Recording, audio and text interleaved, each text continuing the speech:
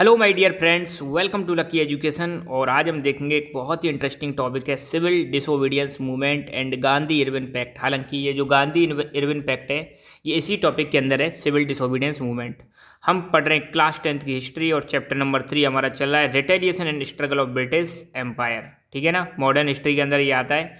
और ये chapter almost हमारा फिनिश है और इसमें एक दो वीडियो बचे हुए थे, उनको हम कवर कर रहे हैं। तो ये वीडियो रह गया था, इसको भी मैं अभी आपको समझा दूँगा। सिविल डिसोबीडियंस मूवमेंट ठीक है? सिविल डिसोबीडियंस मूवमेंट का मतलब होता है सविनय अवज्ञा आंदोलन सविनय सिविल का मतलब सविनय। सविनय का मतलब है विनम्रता पूर्वक यहाँ पर जो काम किया जाएगा, वो कैसे किया जाएगा?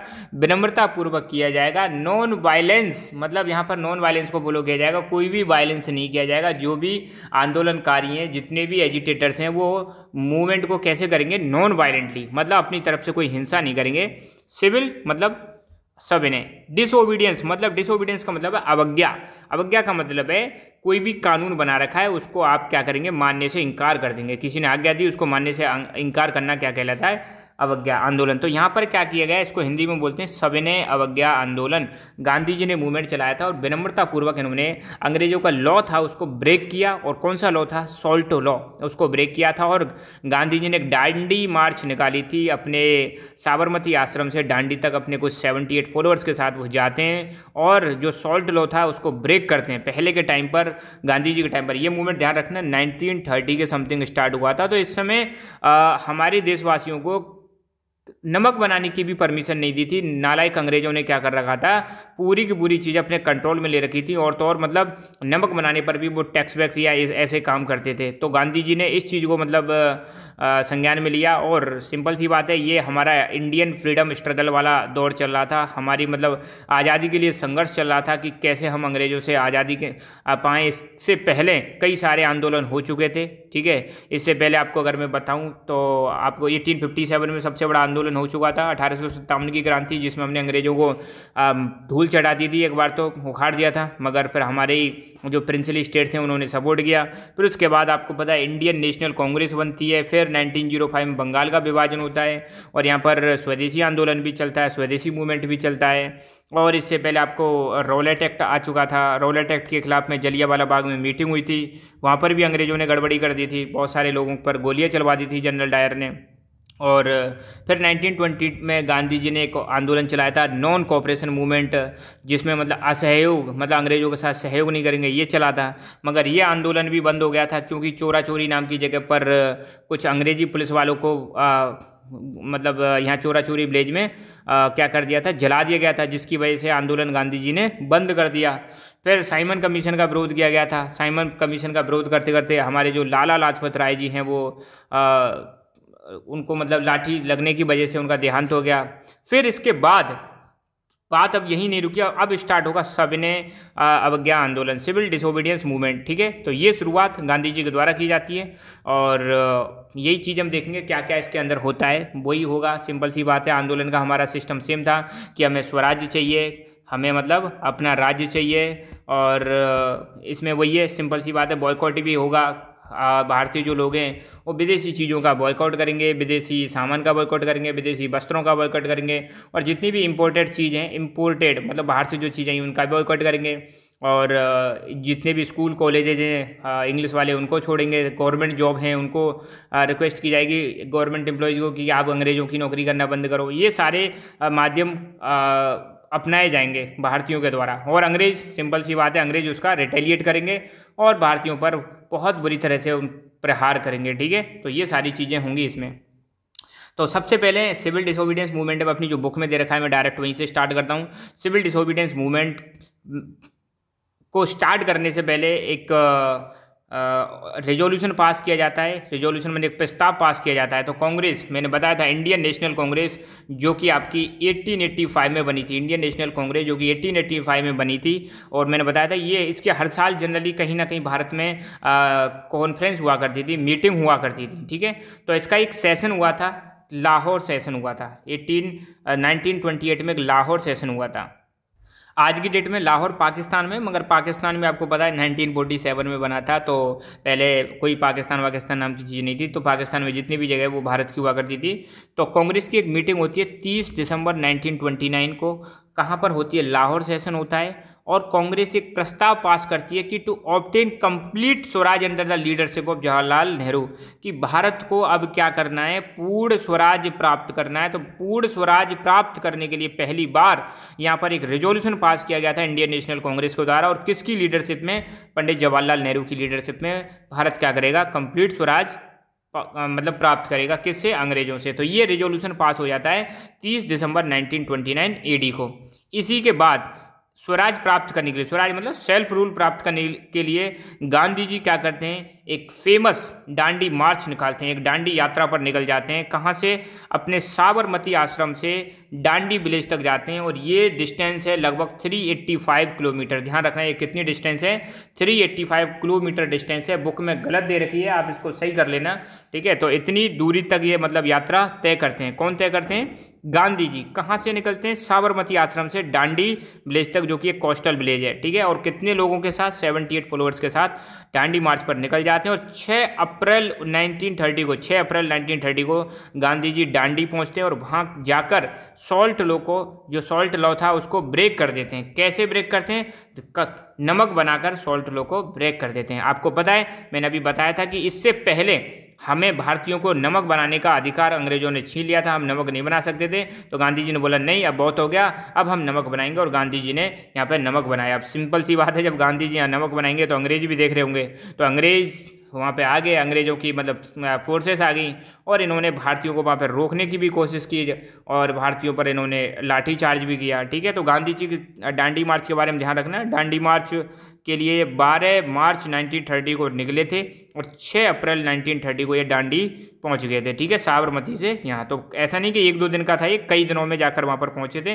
आ, सीधी सीधी बात है three eighty five kilometre distance बहुत ज़्यादा होती है तो उसको कवर करने में गांधी जी को समय लगा तो ये पैदल यात्रा निकाली थी। तो गांधी जी के साथ पूरा की पूरा कारवा जुड़ गया था बहुत सारे लोग भारतीय गांधी जी के साथ जुड़ चुके थे और सरोजनी नायडू भी गांधी जी के साथ हुआ करती थी उस समय। ठीक है इसके बाद, अब मैंने बताया था जैसे इन्होंने नमक वक बनाया तो अंग्रेज़ सीधी बात है इसको पसंद नहीं करेंगे तो अंग्रेज़ों ने पहले से ज़्यादा बुरी तरह से मतलब भारतीयों को यहाँ पे प्रताड़ित किया, लाठीचार्ज किया और गांधी जी ने बोल दिया था कि जो भी इस मूवमेंट में भाग लेंगे, वो नॉन वायलेंटली रहेंगे मतलब वायलेंस का इस्तेमाल नहीं करेंगे और सत्याग्रह का पालन करेंगे। सत्याग्रह का पालन का मतलब यही है कि वो हिंसा नहीं करेंगे और सत्य बोलेंगे। तो उन्होंने यहाँ पर जो आंदोलनकारी थे, गांधी जी के साथ जितने भी लोग आए थे जब अंग्रेज़ों ने उन्होंने पर डंडे बरसाए तो वो आगे बढ़ते रहे और कुछ भी जवाब नहीं दिया, कोई भी प्रत्युत्तर नहीं दिया, किसको? अंग्रेज़ों को डंडे खाते गए, सहन करते गए, मगर आगे बढ़ते गए और भारत माता की जय बोलते बोलते आगे चलते गए मगर रुके नहीं। ठीक है? फिर गांधी जी ने साथ के साथ में इसी मूवमेंट के दौरान सिविल डिसोबीडियंस मूवमेंट के दौरान महिलाओं को आग्रह किया। महिलाओं को आग्रह किया कि वो भी धरने पर बैठें, वो भी हमारा साथ दें। देखो, अब सीधी सीधी बात है, जब सब हम मिलकर मतलब आंदोलन करेंगे तो अंग्रेज़ों पर क्या बनेगा? प्रेशर बनेगा। तो लोग तो जुड़े हुए थे, मेल तो जुड़े हुए थे गांधी जी के साथ। तो गांधी जी ने यहाँ पर, महिलाओं को भी आग्रह किया, उनको भी बोला कि आप भी क्या करो, धरना दो। ये जो वाइन शॉप्स हैं, विदेशी ओपीएम शॉप्स हैं, इनके सामने आप धरना दो। और गांधी जी ने लोगों को बोला कि अब आप बिना परमिट के सॉल्ट बनाओ। पहले अंग्रेज़ों से परमिट लेना पड़ता था, मगर गांधी जी ने खुद ही लॉ ब्रेक कर दिया तो कहा कि अब आप बनाओ, कोई दिक्कत नहीं, और कोई कुछ कहे तो हमें मिलकर आंदोलन चला ही रहे, ठीक है? इन्होंने मतलब लोगों को कहा, गांधी जी ने लोगों को कहा कि आप इम्पोर्टेड जो गुड्स हैं उनको जला दो। विदेशी जो वस्त्र हैं, उनकी क्या कर दो, होली जला दो। चरखे का इस्तेमाल करो, स्वदेशी चीज़ों का इस्तेमाल करो, विदेशी चीज़ों का इस्तेमाल मत करो। विदेशी चीज़ों का बॉयकॉट करो, ताकि स्वदेशी चीज़ों से स्वदेशी लोगों को अपने देशों, अपने देश के लोगों को रोज़गार मिलेगा, अपने देश के लोगों को पैसा आएगा। विदेशी चीज़ें इस्तेमाल करोगे तो पैसा किसको जाएगा? विदेशियों को जाएगा। और गांधी जी ने इस समय ये भी आग्रह किया कि आप जो अनटचेबिलिटी का जो सिस्टम चल रहा है छुआ छूत वाला जो सिस्टम चल, इसको भी खत्म करो। इन सब चीज़ों का भी आग्रह किया गया था। गांधी जी ने लोगों को बोला कि आप विदेशी वस्तुओं का भी इस्तेमाल करना क्या कर दो? बॉयकॉट कर दो। विदेशी वस्तुओं का बहिष्कार करो।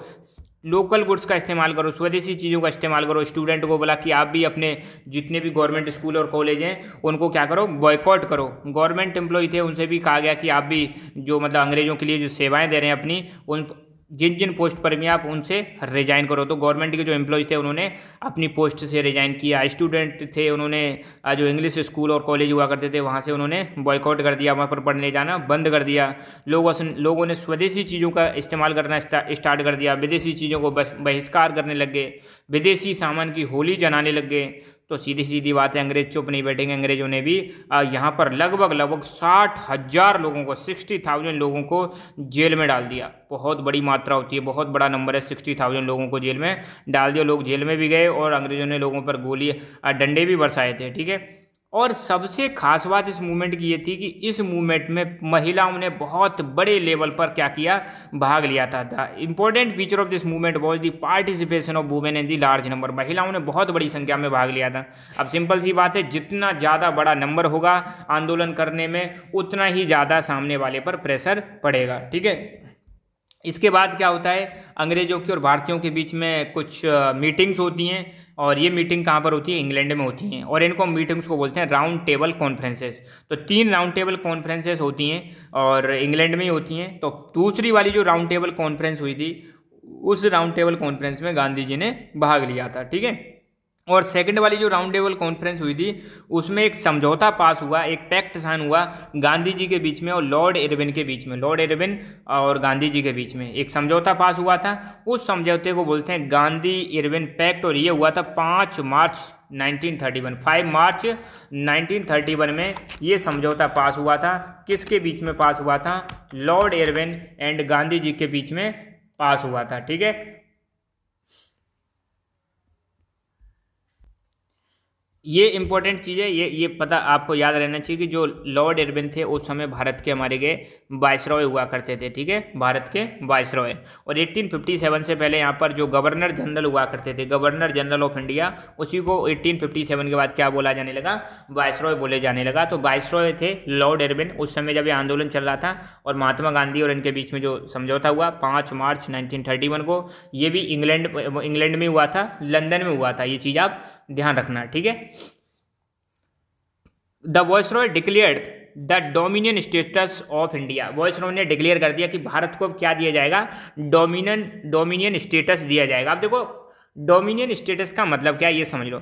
डोमिनियन स्टेटस का मतलब है कि जो गवर्नमेंट है वो भारतीय रन करेंगे, मगर किसके अंडर में रन करेंगे? ये अंग्रेज़ों के अंडर में ही रन करेंगे। मतलब ऊपर कौन होगा? सुपीरियर सुपीरियर पावर जो होगी वो ब्रिटिशर्स होंगे और ब्रिटिशर्स के अंडर में भारतीय जो हैं, अब वो सरकार को चलाएँगे। तो ऐसे स्टेटस की यहाँ पर बात कर दी। किसने बात कर दी? कह दी ये बात कह दी अंग्रेज़ों ने। मगर ये नहीं कहा था कि कब कब भारत को डोमिनेंट स्टेटस दिया जाएगा, इसकी कोई बात नहीं कही थी इसको बोलते हैं कि फ्यूचर में हम आपको डोमिनेंट स्टेटस दे देंगे। मगर कब देंगे, ये नहीं बताया गया। तो डोमिनेंट स्टेटस आप ध्यान रखना डोमिनेंट स्टेटस का मतलब है, भारतीय अब सरकार चलाएँगे, मगर किसके अंडर में चलाएँगे? ब्रिटिशर्स के अंडर में चलाएँगे। अब तक जो सरकार चला रहे हैं, वो ब्रिटिशर्स ही चला रहे हैं। भारतीयों की जो हिस्सेदारी है, बहुत कम है। अब भारतीयों को मौका दिया जाएगा कि आप सरकार चलाइए, मगर आपके बॉस कौन रहेंगे? बॉस रहेंगे अंग्रेज़। ठीक है? कंप्लीट फ्रीडम नहीं है, मगर ये क्या है, डोमिनियन स्टेटस। तो कम से कम something is better than nothing अभी तक तो कुछ भी नहीं है, कुछ तो मिलेगा, पीछे बाद बाद में। ये स्टेटस भी खत्म कर देंगे। खैर, अंग्रेज़ों ने सिर्फ़ डोमिनियन स्टेटस देने की बात कही थी, जो कि दिया भी नहीं। इसको दिया भी नहीं, सिर्फ़ मतलब ऐसे ही बहलाने के लिए कहते हैं कि हम आपको डोमिनियन स्टेटस दे देंगे, ठीक है? Gandhi ji participated in the second round table conference मैंने बताया था गांधी जी ने सेकंड राउंड टेबल कॉन्फ्रेंस में भाग लिया था, जो 1931 में ही हुई थी, और which was called for Indian constitutional reforms और इस राउंड टेबल कॉन्फ्रेंस जो अंग्रेज़ों ने बुलाई थी, इसका पर्पज ये था कि अब अंग्रेज़ क्या चाहते हैं, कुछ सुधार लाना चाहते हैं गवर्नमेंट में कुछ सुधार लाना चाहते हैं, उसी सुधार के लिए भारतीयों को उन्होंने इन्वाइट किया कि आप बताओ क्या करें, क्या ना करें डिस्कस करने के लिए। खैर, ये खाना पूर्ति थी। और आपको पता है इसके बाद भारत में एक एक्ट बनता है, गवर्नमेंट ऑफ़ इंडिया एक्ट 1935 ठीक है? तो ये जो गवर्नमेंट ऑफ़ इंडिया एक्ट 1935 है, एक प्रकार का ऐसे समझ लो एक कॉन्स्टिट्यूशन है, ये बनना था। इसी के लिए, इसी में, इसी के लिए इनको बुलाया गया था भारतीयों को कि आप भाई बताइए, आप कुछ अपने सजेशंस दीजिए, क्या करना चाहिए, क्या नहीं करना चाहिए। और इसी समय ये सिविल डिसोबीडियंस मूवमेंट भी चल रहा था तो गांधी जी से वो इसलिए भी बात करना चाहते थे ताकि मूवमेंट को रोका जा सके। ठीक है? ये चीज़ आप ध्यान रखना। और और मैं बता दूँ आपको 1919 में अंग्रेज़ एक एक्ट लेकर आए थे जिसका नाम था गवर्नमेंट ऑफ़ इंडिया एक्ट 1919 और ये एक प्रकार का एक रिफॉर्म था जिसके तहत मतलब आ, सरकार में बहुत सारे चेंजेज लाए गए थे और इसमें ये लिखा था कि 10 साल बाद इसका रिव्यू किया जाएगा। और दस साल तक देखा जाएगा कि गवर्नमेंट में कुछ जो चेंजेस किए गए, उसका भारत में कुछ अच्छा प्रभाव पड़ा या नहीं पड़ा है। उसी के लिए आपको मैं बता दूँ साइमन कमीशन आया था, मैं ये पहले भी बता चुका हूँ। साइमन कमीशन का पर्पज ये था कि जो 1939 में जो एक्ट सॉरी 1919 में जो एक्ट बनाया गया था, उससे कुछ पॉजिटिव चेंजेज आए या नहीं आए और साइमन कमीशन ने जब अपनी रिपोर्ट जमा करा दी तो उसके बाद फिर ये गांधी इरविन सॉरी ये राउंड टेबल कॉन्फ्रेंसेज होती हैं। और फिर जो साइमन कमीशन ने अपनी रिपोर्ट दी थी, उसके जो रिकमेंडेशंस थी वो फिर 1935 के एक्ट में अंग्रेज़ों ने ऐड कर दी। तो गवर्नमेंट ऑफ़ इंडिया एक्ट 1935 बहुत इंपॉर्टेंट है, क्योंकि आज की डेट में जो हमारा भारतीय, भारत का जो संविधान है द कॉन्स्टिट्यूशन ऑफ़ इंडिया जो कि आपको पता है छब्बीस जनवरी 1935 1950 सॉरी 26 जनवरी 1950 को हमारा भारत का संविधान लागू हो चुका है। पता है आपको, और छब्बीस जनवरी को इसीलिए हम रिपब्लिक डे बनाते हैं। तो ये जो भारत का संविधान है, इसमें 395 आर्टिकल्स हैं। 395 आर्टिकल्स ओरिजिनली थे। तो इन three nine three ninety five articles में बहुत सारे articles more than two hundred articles सीधे की सीधे कॉपी कर लिए कहाँ से? 1935 के गवर्नमेंट ऑफ़ इंडिया एक्ट जो अंग्रेज़ों ने बनाया था। ठीक है? तो इसी 1935 एक्ट को बनाने के लिए कुछ रिफॉर्म्स, जो भारत के, भारत में कुछ रिफॉर्म्स लाने थे उसी लिए मतलब इनको भारतीयों को यहाँ पर बुलाया गया था इंग्लैंड में, लंदन में, ताकि उसमें कुछ वो सजेशन दे सकें। और यहीं पर वाइसराय लॉर्ड एरविन ने डिक्लेयर कर दिया कि भारत को हम क्या प्रोवाइड करेंगे? डोमिनियन स्टेटस प्रोवाइड करेंगे। ठीक है, गांधी जी अनसेटिस्फाइड भारत आते हैं, लौट कर आते हैं, क्योंकि इसमें कुछ कंक्लूजन निकला नहीं। अंग्रेज़ों ने कुछ क्लियर क्लियर कोई बात की नहीं थी। और गांधी जी ने फिर दोबारा से सिविल डिसोबीडियंस मूवमेंट स्टार्ट कर दिया।